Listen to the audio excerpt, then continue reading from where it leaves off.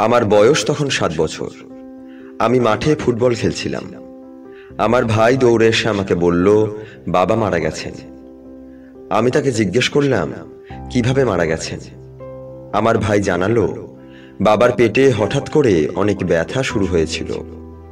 আমাদের গ্রামে ভালো চিকিৎসা ব্যবস্থা না থাকায় তাকে অন্য গ্রামে নিয়ে যেতে হয়েছিল, আর সেখানেই তিনি মারা যান। তাই আমি প্রতিজ্ঞা করেছি আমি সেনেগালের প্রতিটি দরিদ্র এলাকায় একটি হাসপাতাল নির্মাণ করব এবং আমি সেটা বাস্তবে রূপান্তরিত করেছি। আমি একটা স্কুল এবং একটা স্টেডিয়াম প্রতিষ্ঠা করেছি। গরিব মানুষদের নিজের সাধ্য মতো জামা কাপড় জুতা এবং খাবার দিয়ে সাহায্য করার চেষ্টা করি সব সময়। জীবন আমাকে যা দিয়েছে, তা আমি আমার আশেপাশের মানুষদের মধ্যে বিলিয়ে দিতে পছন্দ করব। ইংলিশ ফুটবল ক্লাব লিভারপুলের সেনাগালিস তারকা সাদিও মানে সপ্তাহেই কোটির টাকা বেশি অর্থ উপার্জন করেন। তবে এত আয়ের পরও সেসবের ছোঁয়া নেই তার ব্যক্তিগত জীবনে। চলেন বেশ সাদামাটাভাবে এমনকি তার নিজের ব্যবহারের আইফোনটি পর্যন্ত ভাঙা।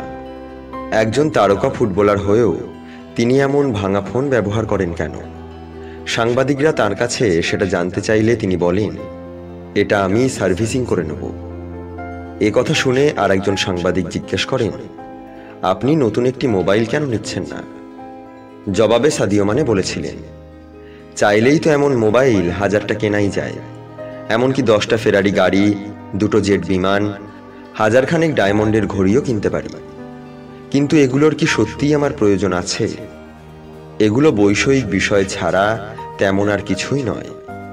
মানুষের রুচি খুবই নিম্নমানের না হলে কেউ বিশ ত্রিশ হাজার ডলারের ঘড়ি হাতে দিয়ে ঘুরে বেড়ায় না।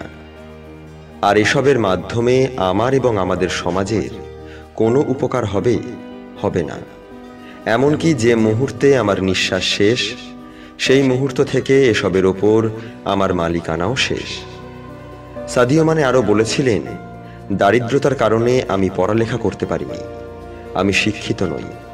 তাই হয়তো জীবনে শিক্ষার গুরুত্বটা বুঝেছি। দরিদ্র ছিলাম বলেই হয়তো জীবনের আসল অর্থ কি, সেটা অনুভব করেছি।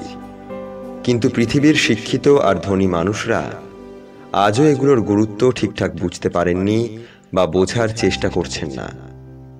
সবাই যদি সত্যি সত্যি এগুলো বুঝতেন, তাহলে পৃথিবীতে আজও এত অভুক্ত শিশু না খেয়ে রাতে ঘুমাতে যেত না। মানুষ দিন দিন এভাবে ভোগবিলাসের কয়েদি হয়ে উঠত না। সত্যিই সাদিও মানে মনে রেখেছেন তিনি কোথা থেকে উঠে এসেছেন। তার সম্পর্কে লিভারপুল মসজিদের ইমাম বলেছেন, সাদিও মানের অনেকগুলো দামি গাড়ি থাকার পরেও তিনি অতি সাধারণভাবেই মসজিদে আসেন। প্রতিটা মুসল্লির সাথেই ভদ্রভাবে কথা বলেন। একদিন আমি তাকে মসজিদের টয়লেট পরিষ্কার করতেও দেখেছি। সত্যি সাদিও মানে মনে রেখেছেন তিনি কোথা থেকে উঠে এসেছেন। তাই তো তিনি সব সময় সাদাসিধেভাবে চলতে পছন্দ করেন, মানুষের উপকার করতে পছন্দ করেন।